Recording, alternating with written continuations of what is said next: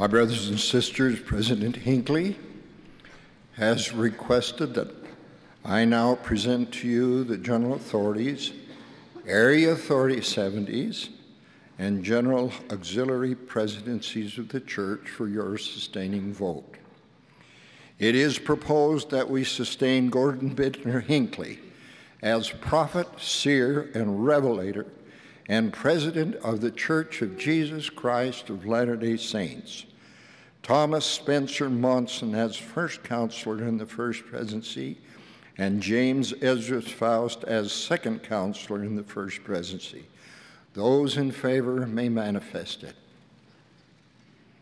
Those opposed, if any, may manifest it.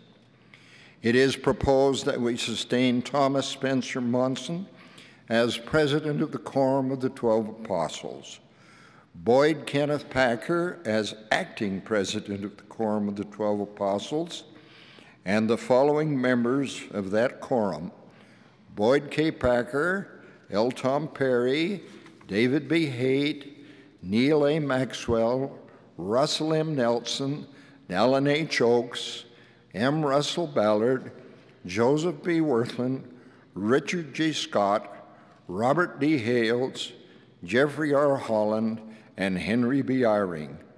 Those in favor, please manifest it. Any opposed? It is proposed that we sustain the counselors in the first presidency and 12 apostles as prophet, seers, and revelators. All in favor, please manifest it.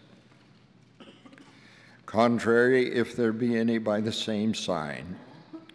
It is proposed that we extend an official vote of appreciation to Elders J. Richard Clark, Dean L. Larsen, and Robert E. Wells that they be designated as emeritus members of the first quorum of the 70, and that Elder Larsen be released as church historian and recorder.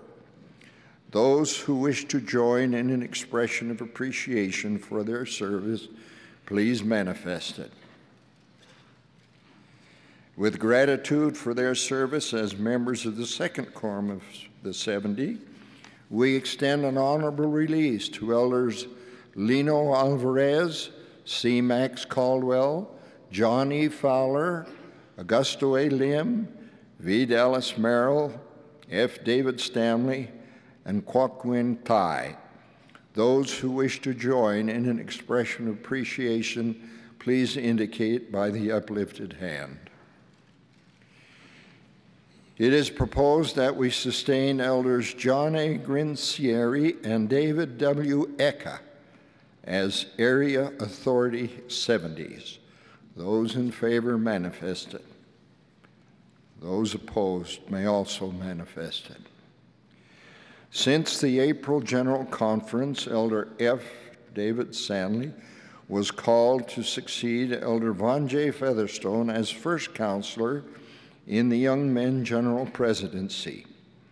It is proposed that we release with a vote of thanks Elder F. Burton Howard as first counselor and Elder Glenn L. Pace as second counselor in the Sunday School General Presidency and Elder F. David Stanley as first counselor, and Elder Robert K. Dellenbach as second counselor in the Young Men General Presidency. Those who wish to join in an expression of appreciation to all of these brethren, please manifest it. It is proposed that we sustain Elder Glenn L. Pace as first counselor in the Sunday School General Presidency and Elder Neil L. Andersen as second counselor in the Sunday School General Presidency. Elder Robert K. Dellenbach as first counselor in the Young Men General Presidency, and Elder F. Melvin Hammond as second counselor in the Young Men General Presidency. Those in favor, please manifest it. Any opposed? It is proposed that we release with a vote of thanks and sincere appreciation Sisters Janette Hales Beckham, Virginia H. Pearce, and Carol B. Thomas as the Young Women General Presidency. We also release all members of the Young Women General Board. All who wish to join in an expression of gratitude for the excellent service of these wonderful sisters may do so. It is proposed that we sustain Sisters Margaret Dyreng Nadauld, Carol Burdett Thomas, and Sharon Greene Larsen as the Young Women General Presidency. Those in favor, please manifest it. Any opposed by the same sign. It is proposed that we sustain the other general authorities, area authority 70s, and general auxiliary presidencies as at presently constituted. Those in favor, please manifest it. Any opposed may manifest it.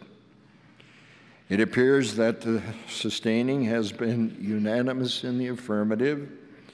Thank you, brothers and sisters, for your faith and prayers. We shall now ask the new general, Young Women General Presidency to take their places on the stand.